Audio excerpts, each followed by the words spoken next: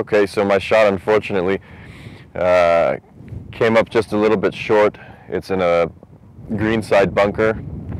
Uh, it's quite deep, but uh, hopefully we can get it out with a wedge. The bunkers here are quite nice. Uh, I've seen a lot worse. I've seen bunkers that look like concrete to be honest, uh, but this is quite nice. Um, a couple little rules about getting into a sand trap. You definitely want to clean it up when you're done. It's a huge no-no. It's, it's, actually a penalty if you ground your club while in the sand trap. So your, uh, your club cannot hit the sand at any point unless you're swinging at it. The lip is quite high. I've chosen a, a 60 degree lob wedge to get out. Uh, the bigger the degree, obviously, the, uh, the higher the ball will come out. What I'll also like to do is go up a little bit higher and see how much green I actually have to work with so when the ball actually does come out, you know, do I have three feet of green to land it on or do I actually have 20 to 30 feet? Uh, so I can come up here. From here it looks like I've got, uh, you know, a good 25 feet to work with. Uh, so I can actually fly the ball to the hole. Now typically on, on wedges, like a sand wedge, a lob wedge, that kind of thing, uh, there's something in the club called bounce.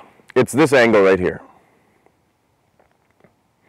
Uh, what that creates is, um, especially in a bunker situation, you don't want your club to dig into the bunker.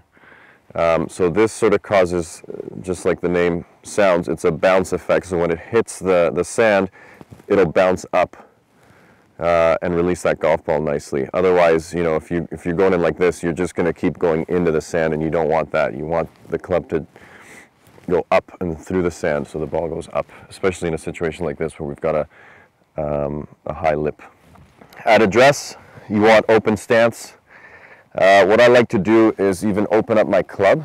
What I'll also do is I'll aim my feet to the left, my club sort of slightly right of target. Dig your feet in so you're comfortable, so you're stable in here. You don't want any moving around when you're doing this shot.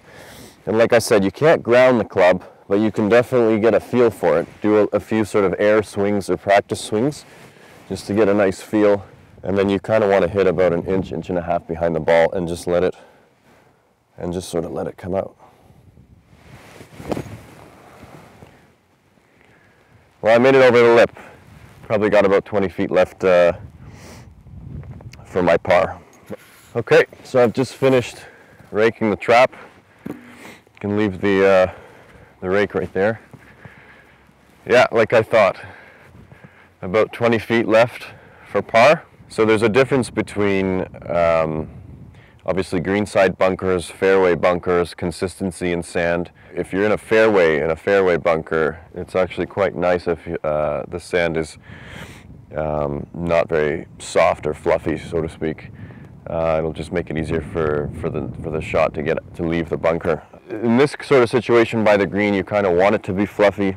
You want to get a nice crisp shot out of the bunker what sometimes happens if it's not is you'll skull the ball and that basically means that you sort of you don't get under it you kind of hit uh, on top of the ball the ball will come out low and fast. Um, and again you won't get you won't be getting out of this bunker if you do that. Just the lip is way too high.